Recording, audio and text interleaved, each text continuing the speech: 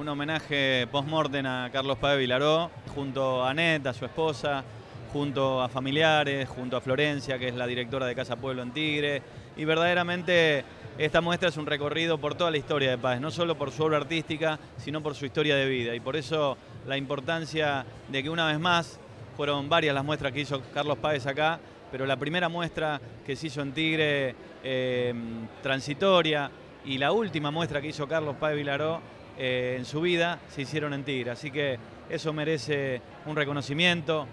De más está decir que los 4 millones de turistas que ingresan a Tigre ingresan a través del paseo Carlos Páez Vilaró y eso es motivo de orgullo para todos nosotros. La alegría de poder rendir homenaje a un artista del Río de la Plata, un artista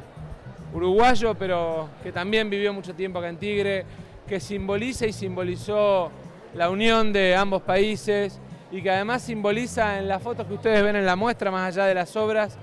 la capacidad de abrazar ambas orillas y de abrazar ambas ideologías. Será la tercera vez que, Carlos habrá expuesto aquí y bueno, esta vez no está.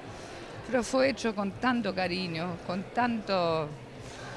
no sé, me emocionó y aparte, como yo dije recién, de los 32 años que estuve casado con Carlos, los 15 en el Tigre fue la época más feliz. Era un amigo de Tigre, era un amigo de quien durante estos últimos cinco años encaró el liderazgo de una transformación en Tigre, que es Sergio Massa. Eso lo hace un artista vinculado a nuestros anhelos, vinculados a lo que queremos para Tigre, vinculado a lograr ese intercambio y esa hermandad que tenemos que tener con el Uruguay, que sintió a Tigre y a la Argentina como, como su propio país y eso me parece que, lo, que es lo que tenemos que recatar para la unidad latinoamericana, para lograr estrechar los lazos con nuestros países hermanos.